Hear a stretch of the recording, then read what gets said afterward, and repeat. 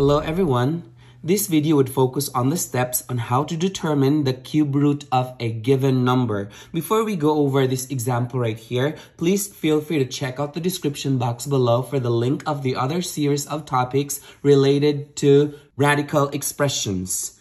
Now let's have a review on the parts and definition of radical expressions. Please remember that these are the parts of every radical expression. The first part is the radical symbol. The reason why this is called radical expression is because it is an expression that contains the radical symbol. Our A here is called a coefficient. A coefficient is a number multiplied to the radical expression. And the letter N here is called the index. This tells you which root you're looking for. Please remember that if the value of the index is not written in there, it means that that invisible number is 2. We also have a letter C, and this letter C is named as the radicand. A radicand is the value that you are taking the root of. So this expression that we have here is read as A times the nth root of C.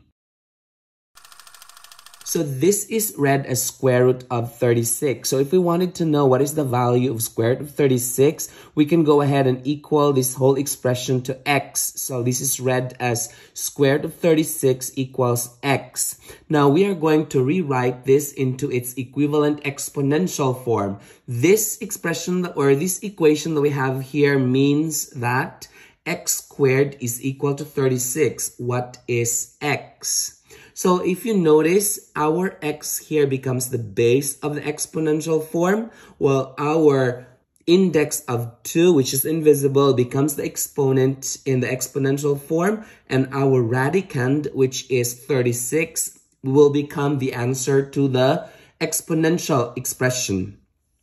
What we're trying to do right now is we're supposed to determine a value, the value of x such that when we multiply this x by itself twice, it will give us 36. Meaning if we have blank times blank equals 36 and it should be the same number. So then these two numbers would be 6 times 6. So 6 times 6 is 36. And so we can go ahead and rewrite this as 6 squared equals 36. And so this tells us that our x is 6. So then this square root of 36 then will equal to 6. So that's how we evaluate radical expression. So these are the parts and definition of radical expressions. Okay, Going back to the problem right here, we are supposed to evaluate cube root of 80. There are steps that we need to follow in order that we can evaluate this expression that we have right here. The first step is to divide the radicand with a prime number starting with 2 and continue dividing with the rest of the other prime numbers until you get a remainder of 1. So I will put the list of the first 10 prime numbers on the side. So in this problem right here, we are supposed to again divide this radicand um, 80 with the first prime number, which is 2. So I'm going to go ahead and show the work on the side here. So I'm going to write 80. And then I will again divide this by the first prime number. I will put 2 in there. So 80 divided by 2 is 40. And then I will continue to do that 40 divided by 2 is 20. So I write 20 right here. And then 20 divided by 2 is 10. And so I can still divide this by 2.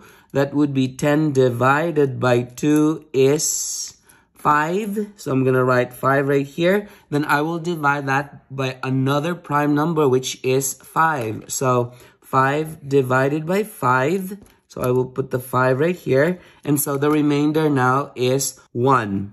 And so we already have a remainder of 1.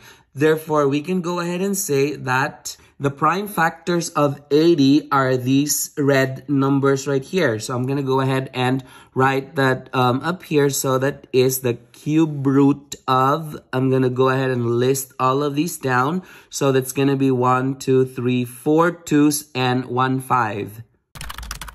Since this is a cube root, what are we going to do here is that we are going to come up with a group of three numbers. In this case right here, we have four twos. We only need three because there's three of them. So I will group them together. Once they are grouped together, there's three of them. They are able to get out of the radical symbol right here. So I'm going to go ahead and put that up here. So that's two. And so all the rest are not, they don't come in three, so we keep them inside the radical sign. And so this um, expression would come out, the uh, we put the two, which is the constant, I put the two here, and then that's the cube root of whatever's the leftover, that would be two times five, so I write it down. So I simplify the ones that are inside the radical sign, so that would be two cube root of two times five is 10. So that is a cube root right there. And so this is the simplified version of the cube root of 80. Okay, now let's move on to the next example. At this time, I would encourage you to pause this video and try this problem out on your own. And when you're done, unpause it and check your answer. Okay, so we go over the problem here. Again, the first step is to divide the radicand with a prime number starting with 2 and continue dividing with the rest of the other numbers until you get a remainder of 1. So we will divide this by 2 and then if 2 doesn't work, then we will divide it by 3, 5, and so on until we get a remainder of 1. I'm going to show the work on the slide here. So I got a remainder of 1. So then we can go ahead and move on to the second step. Write out the prime factors from step 1 and simplify. So I'm going to write all of these out into this um, expression. Okay, so what we do next is we group them into groups of three. So in this case right here, we have three threes here. So these three will be grouped together and they are able to get out of the radical symbol. So I will put that three right there so that we can go ahead and say that we have three, the one that we put outside, and then the leftover would be two and seven inside the radical sign. So that would be three and we get a two times seven. So that we can go ahead and uh, multiply these two numbers right here. So this would come out 3 times the cube root of 14. So this is the simplified version of the cube root of 378. Did you get the same answers as this? Good. Perfect. Now let's move on to the next example. At this time, I would encourage you to pause this video and try this problem out on your own. And when you're done, unpause it and check your answer.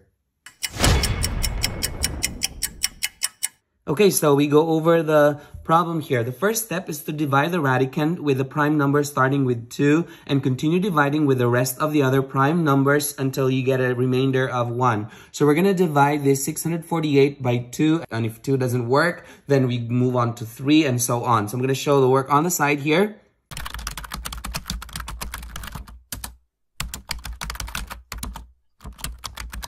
And so we got a remainder of 1. And so the second step is to write out the prime factors from step 1 and we simplify. So I'm going to go ahead and write it up here.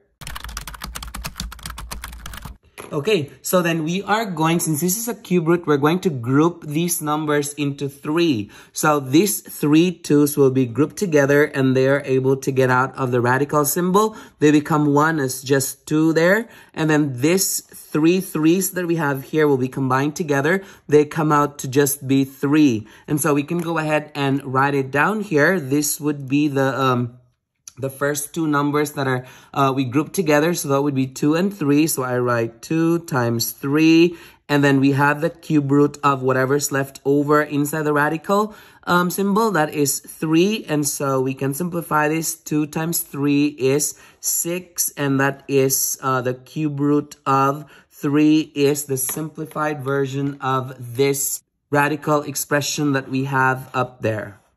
Did you get the same answers as this? Good. Perfect. If you find this video helpful, hit like and subscribe for more math videos. See ya!